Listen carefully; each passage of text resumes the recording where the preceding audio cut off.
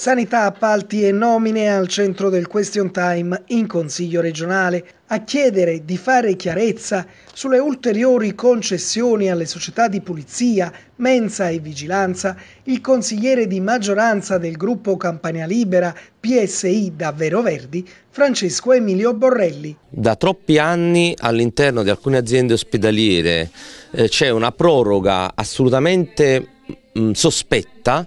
e sicuramente difficilmente da giustificabile dei servizi che vengono offerti dalle eh, società di guardiania privata, eh, mensa e pulizia.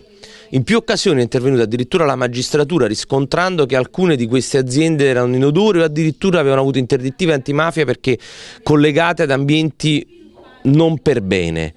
Eh, io ho chiesto nuove gare d'appalto e ancora oggi non sono avvenute con tutta una serie di motivazioni burocratiche, ma la sostanza è che in alcuni casi cattivi servizi di pulizia, di mensa o di guardiania all'interno degli ospedali avvengono perché ci sono delle aziende che non svolgono al meglio il loro lavoro. Le nomine dei dirigenti degli istituti sanitari regionali le graduatorie da dove sono stati scelti, ma soprattutto i titoli di studio e altre referenze necessarie ad intraprendere l'incarico, l'oggetto dell'interrogazione proposta da Maria Grazia Di Scala, consigliera del gruppo Forza Italia. Ho inteso verificare se attualmente i, tutti i direttori generali che sono attualmente in carica eh, abbiano questi requisiti, siano nel possesso di questi requisiti.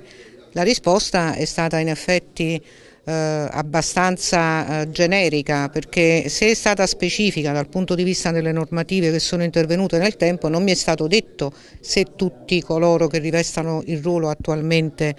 abbiano in effetti questi requisiti. Questo mi lascia pensare che forse alcuni direttori generali nominati dalla Regione Campania